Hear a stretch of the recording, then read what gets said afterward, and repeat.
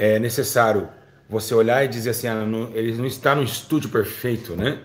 Mas aqui não é o lugar que faz, mas sim a palavra. Acabei de fazer esse vídeo, esse vídeo estou lutando contra as trevas para fazer esse vídeo. Realmente é o mundo está levantando realmente o bezerro, né, da prostituição, assim como aconteceu lá no livro de Juízes, capítulo 8, né? O mundo está perverso, as práticas mundanas, a imoralidade, ah, os prazeres, né, da, desvanceliciando o movimento em Cristo, ou seja, o movimento da prática da obediência.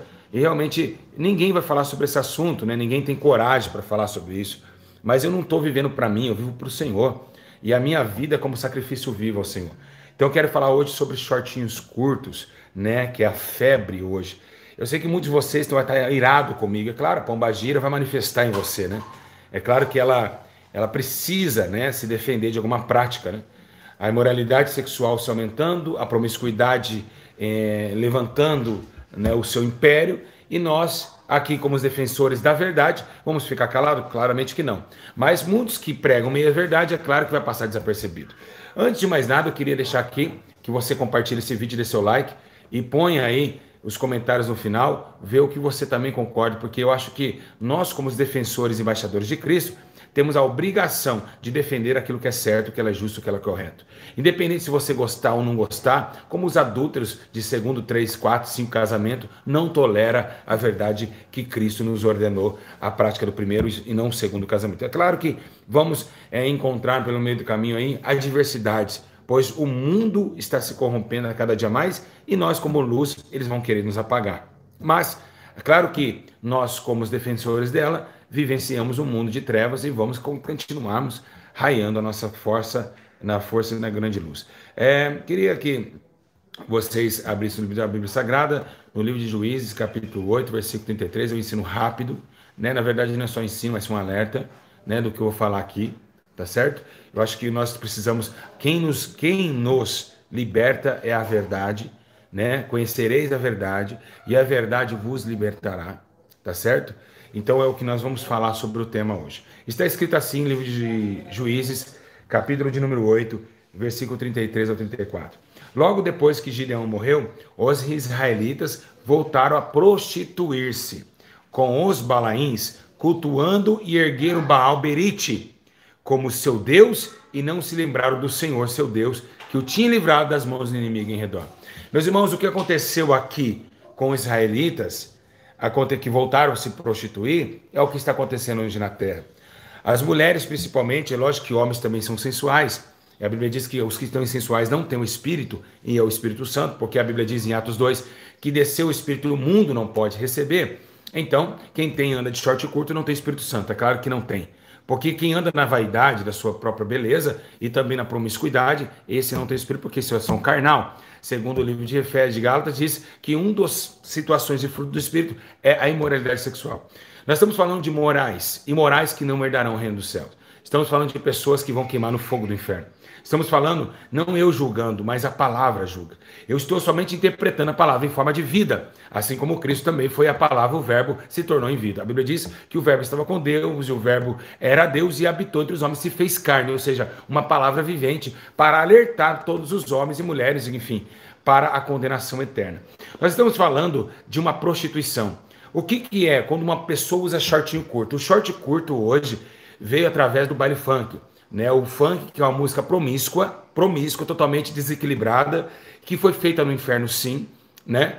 Pode gerar polêmica, não vou falar, isso não importa, tá entendendo? Que os funkeiros se arrependam também, porque não tem massagem para bandido, para ladrão, para funkeiro, para prostituta, nem para pastor que anda errado. Porque não é porque nós hoje está no, no, Evangelho que todo mundo aqui é santo. Tem muita gente no Evangelho podre também. Então, o que nós estamos falando aqui é sobre a verdade. Se você não aceita a verdade, você é da mentira. Então, ó, escuta, engole que dói menos. Então, através dessa liturgia do funk, nasceu o shortinho curto. Né, todo mundo ali né, começou a explodir bastante no Rio de Janeiro, as carioca, porque o clima é quente, 40 graus, vamos colocar um shortinho curto, que parece um, vamos colocar assim, um clima de biquíni, brica de praia. A questão não é essa, a questão é que nós estamos um Deus que nos criou. E ele é contra toda a prática de imoralidade sexual que leva em consideração os shortinhos curtos hoje. Hoje, mulheres casadas de short curto, hoje, jovens, crianças de short curto, mostrando as nádegas, mostrando as pernas. Então, vamos dentro da Bíblia, você, eu e a Bíblia, vamos ver quem está certo. O que, que ela fala sobre isso? Qual que é o pecado de lascívia? Qual é o pecado de lascívia quando você usa um short curto? Primeiramente, quando você usa um short curto e você vai até a padaria, você pode, pode destruir uma família em silêncio. Como uma menina de short curto pode destruir uma família? É simples. Jesus disse que a cobiça vem dos olhos. E se um homem cobiçar uma mulher, em colocar no coração a cobiça, ele já deitou com ela. Então imagina que você usa um short curto e você vai até o mercado. Os homens cobiçaram você. Então se os homens cobiçaram você, você matou um homem. Você matou uma alma. Você levou uma alma em adultério para o fogo do inferno. Através do seu corpo, através das suas pernas, através do seu bumbum aparecendo, que hoje parece calcinha esses shorts. Então, você levou, levou a condenação final. Você levou esse homem para o inferno através do seu corpo. O que que apóstolo Paulo diz em sua carta? Ele diz em sua carta que o corpo não é para instrumento de perdição. E o que é instrumento de perdição? É usar o teu corpo para destruir família, é usar o teu corpo para destruir jovens, para masturbar pensando no seu bumbum. Ah, e eles me olharam, eles me olharam coisa nenhuma. Se tivesse de vossos bens, não teria tanta aparência assim. As vestes que Bíblia diz em Timóteo para que a mulher seja honrada. Então, as meninas de hoje, as, as jovens de hoje, estão destruindo famílias de 10, 15 anos. É claramente também que o homem tem que vigiar. Eu acho que o homem, acho não, o homem também tem que se colocar no lugar. Mas é claro que vocês também vão ter a parte da condenação. O que que Paulo diz em, em suas cartas, né? É, por isso que o livro desde o livro de Provérbios está escrito assim, Provérbios 23, 26 ao 26 ao 27. Meu filho, dai-me teu coração manter os seus olhos em meus caminhos, pois a prostituta é uma cova profunda e a mulher pervertida é um poço estreito. Então, a perversão vem do short curto. Toda mulher que usa um short curto e um homem que leva é a perversão. O que é perversão? É quando você sai da justiça divina e leva outros a caírem na sua injustiça. Então, perverte, ou seja, perverter a muitos. Então, quando ele fala para olhar os olhos somente na justiça e não nessas coisas, nessas práticas lisonjentas, ele está dizendo para guardar os seus olhos. Pois Jesus disse: se os seus olhos foram bons, todo o seu corpo será bom e luminoso. Mas se os seus olhos foram maus e tenebroso, todo o seu corpo também terá tenebroso. Mas para ajudar isso, as jovens do Brasil estão andando nesses shortinhos curtos e curtos que estão aí levando milhões para o fogo do inferno. São bailes funk, pessoas rebolando até o chão, MC querendo brigar com o outro, falando que é mais bandido que o outro. Então nós estamos vendo realmente os demônios montados na coluna de vocês e esperando vocês sair do corpo para levar a alma de vocês para o Hades. E esse profundamento inferno de condenação que há um dia se revelar a todos os homens. Então eu creio de vocês, se vocês não se converterem, se vocês não se arrependerem dessa prostituição, o espírito do inferno virá buscar a alma de vocês. Pode ter certeza disso que eu estou falando. Para se arrepender dos seus maus caminhos. Pois a prostituição, a imoralidade sexuais, segundo a Bíblia Sagrada, os imorais não herdarão o reino dos céus. Por que, que ninguém fala disso? Porque não tem Espírito Santo para bater de frente. São um bando de pastores covardes que até as suas jovens da igreja usam short curto depois do culto. Então saia no culto e short curto depois do culto. O pró-culto, ele é realmente escandaloso. Em vez de você ficar mordendo a linguinha e fazendo número dois no Facebook, se coloca como uma mulher de Deus e como uma mulher íntegra e de oração e temente ao Espírito Santo. Então, o que que Paulo diz em Romanos capítulo 13, no verso 13? Não sou eu, você pode ficar tá brabo, é o diabo que está deixando você nervoso, deixando você brabona, olhando para mim. Satanás não vai gostar da verdade, claro, ele é das trevas, como que ele vai gostar da luz? Está escrito assim, em Romanos capítulo 13, versículo 13: Comportemo-nos com decência.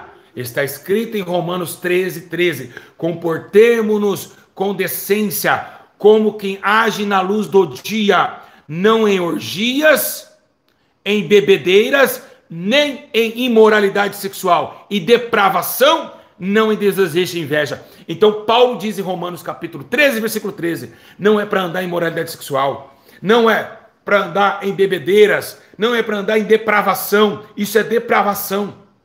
Short curto é depravação, é imoralidade sexual. E a Bíblia diz que os imorais não herdarão o reino de Deus.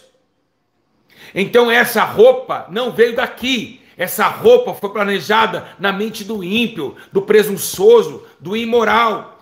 Jamais um estilista vai fazer algo para fazer com que a obra de Deus e a palavra de Deus seja blasfemada. Não veio do céu, veio do inferno. E tudo que vem do inferno o povo acata. Se faz aqui uma, uma estrelinha que todo mundo quer fazer. Se faz outra estrelinha que todo mundo quer fazer. Mas você perguntou para Deus se pode. Quem é o dono de nossa alma? Quem é o dono do universo? Não é você, é Deus. E deve ser respeitado. O Senhor deve ser adorado na sua formosura, no seu poder e respeitado as suas obras. O poder da sua palavra, que liberta o homem, que tira o homem do crack, que tira o homem do vício e leva ainda para o céu. Então nós temos que respeitar o limite do Espírito. Porque as prostitutas e os prostitutos não herdarão o reino de Deus. Tá certo? Como um homem sem camisa na rua, como um homem camisa cavada, como um homem de bermudão, trazendo seminalidade, porque a, a perna não é para. A Bíblia diz que não é para outros olhar, a perna é para sua esposa e a perna da sua esposa para o marido. Então, não adianta. É realmente a epidemia do Brasil é epidemia, vão levar milhões de jovens para o fogo do inferno. Deus condenou Sodoma e Gomorra por causa das práticas de imoralidade sexual, e Deus vai condenar vocês. É um aviso do Espírito Santo para a tua vida, minha jovem. Se você não sair dessas amizades, a sua amiguinha não vai tirar você do tormento, os demônios vão rasgar você lá embaixo, a pombagira vai te rasgar lá embaixo. Não existe modinha. Sai da modinha. Rabandagacharabagai. O Senhor está te chamando agora. Vocês dizem pregar a verdade e deixa essas jovens morrer. Nós precisamos resgatar essas jovens do inferno. Eu estou fazendo esse vídeo porque Jesus te ama. E Ele quer te salvar dessa mentira, dessa imundície da imoralidade sexual. Porque é realmente algo que Deus condena. Deus chamou Israel de prostituta e por quê? Porque parou de obedecer os mandamentos da santificação. E é isso que nós temos que falar, é isso que nós temos que alertar. São milhões de jovens indo para o fogo do tormento. Jovens com tudo tatuado, dizendo não é bandido, não é bandido, não é bandido, e está enganado. Quando levar os tiros na cara, sair do corpo, seus amigos não vão poder te ajudar. O teu baseado não vai ter para no teu bolso. É você e as suas obras. O Exu da morte vai vir buscar a tua alma. Então você vai ficar sozinho vai ficar sozinho naquele lugar de tormento. E Deus quer mudar a tua vida, o Senhor quer mudar a tua história, mas Ele está te avisando: saia, saia, negai, chorecante, comanai, saia. Eu sei quem está com o meu lado agora, meus irmãos, fazendo esse vídeo. Eu sei que nessa noite Deus me, me falava comigo: avisa, avisa, avisa eles. E vocês precisam ser avisados disso. Então, esse monte de jovens, meninas de 12, 13 anos, de shortinho curto, no, e, e, ali andam em três, quatro, risadinha. Irmão, que espírito está dentro de vocês? Filhas de pastores andando de short curto. Pastores, suas filhas dão um mau exemplo. Irmãos, mulheres, dizem missionárias, a sua filha está dando um mau exemplo. A Bíblia diz que para pregar a palavra de Deus, você tem que consertar a tua casa primeiro. Como que você vai consertar a casa dos outros se sua casa está desordenada? Então a prostituição, a imoralidade sexual. Olha o que diz o apóstolo Paulo, está me arrepiando aqui, meus irmãos. Apóstolo Paulo diz em 1 Tessalonicenses, no capítulo 4, versículo 3, a vontade de Deus é que vocês sejam santificados e saiam, fujam das imoralidades sexuais.